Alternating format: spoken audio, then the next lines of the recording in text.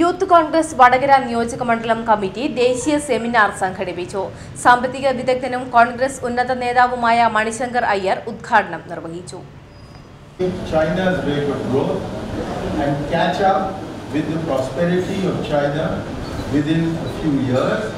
And that, as Dr. Manmohan Singh put it, we would be as proud of Bombay as uh, the Chinese are of Shanghai. But all those dreams have now been shattered.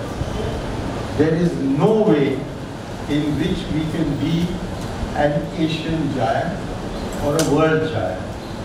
Although there is a man in India who says he has a 56 inch chest, he keeps on boasting that some great economic recovery is underway and that we are going to have an economy of sabka saath, but what we see happening around us is Sabka Saad, Sabka Vinash. Everybody in our economy is suffering. The worst to suffer are those in rural India.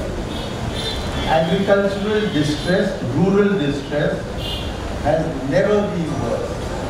And there is not a single segment of the rural economy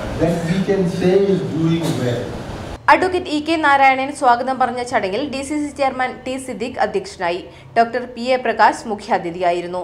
ചടങ്ങിൽ ആശംസകൾ നേർന്നുകൊണ്ട് K P C C general secretary N Subramanian advocate Praveen Kumar advocate I Moosa Puranthodathil Gangadharan K P C C executive മെമ്പർമാർ എന്നിവർ സംസാരിച്ചു.